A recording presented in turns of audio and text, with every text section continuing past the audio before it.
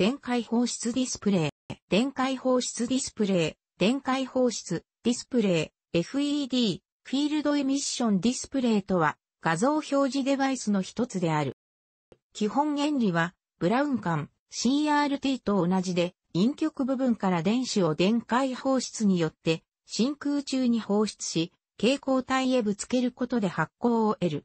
CRT とは異なり、FED は各画素ごとに電子放出部を持っている。また CRT は影電極部分にフィラメントなどの熱陰極を使用しているが FED は熱を加えることなく電子を放出することから冷陰極方式と言われる。電解電子放出とは外部から電解を加えることによりトンネル確率を上げることで固体表面から電子が放出する現象である。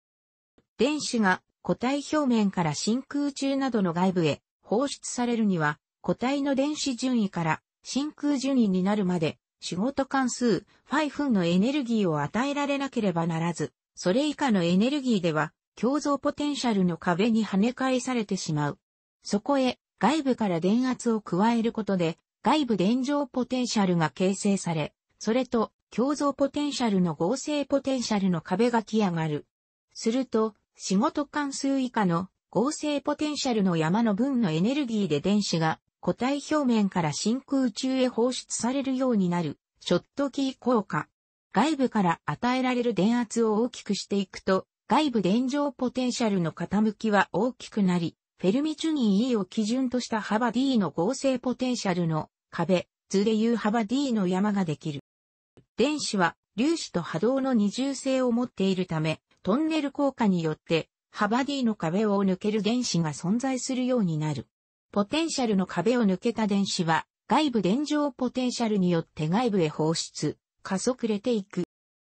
この時、外部からの電圧を大きくすることによって、ポテンシャルの幅 D は薄くなり、トンネル確率は増加していく。また、固体の形状を円錐型やナノコイルなどの形状にすることで不平等、集中電界作り表面からのトンネル確率を増加させることができる。こういった冷陰極はフィールドエミッタアレイ、FEA、あるいはエミッタという。 FEA で有名なのは1960年代に米国スタンフォードリサーチインスティチュートのチャールズ・ A・スピントが開発した回転蒸着法、スピント法を用いた円錐形状のスピントエミッタである。同じ突起形状でも、円錐やピラミッド形状の SI を用いた FEA は、米国海軍研究所の著名研究者で IBMC、イントネシャネルバキュームマイケロレクトラーニックスコンファレンスを創設したヘンリー・カイ・グレーが開発したためグレー、エミッタ、モールド、鋳型を用いるピラミッド等の形状を持つエミッタは、転写、モールドエミッタと呼ばれる。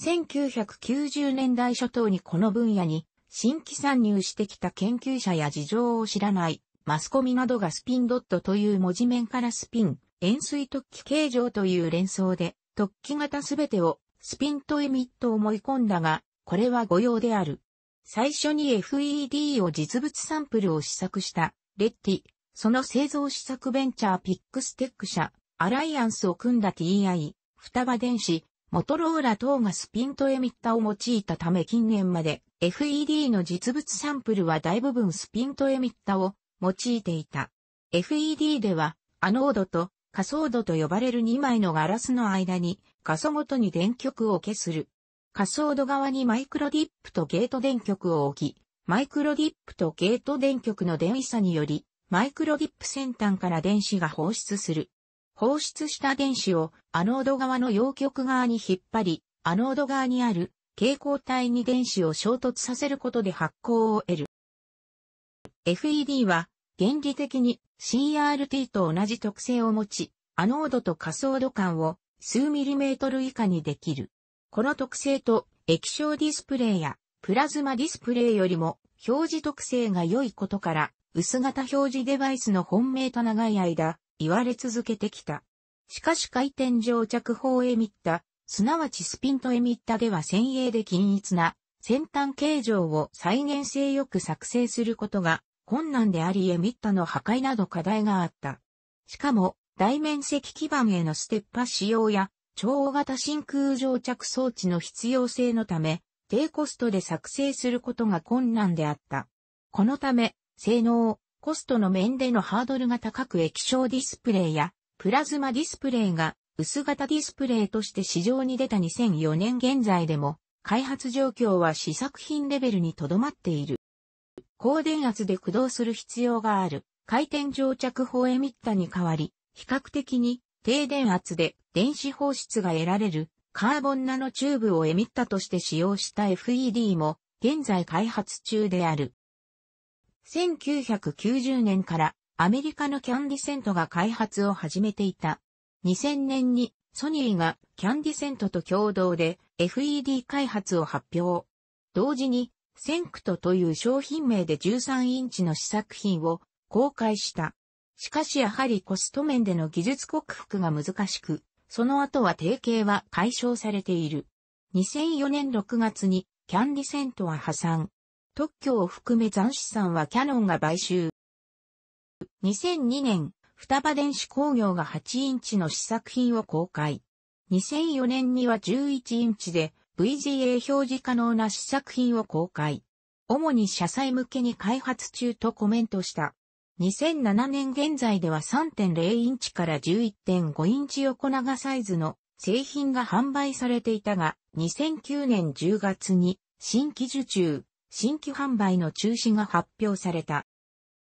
日本では他に乗竹伊勢電子、日立製作所、三菱電機の3社が提携して、カーボンナノチューブを使った FED の開発をしているが2010年現在、製品化には至っていない。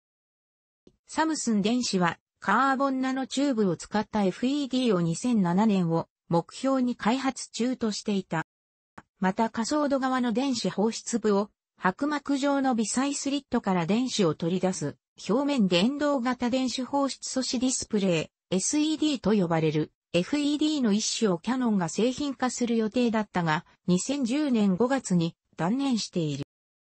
FE テクノロジーズはパイオニアのプラズマパネル工場を買収し2009年末から FED パネルを量産する予定だった。しかしながら2008年11月5日に取得を断念。2009年に会社自体を生産することとなった。楽しくご覧になりましたら、購読と良いです。クリックしてください。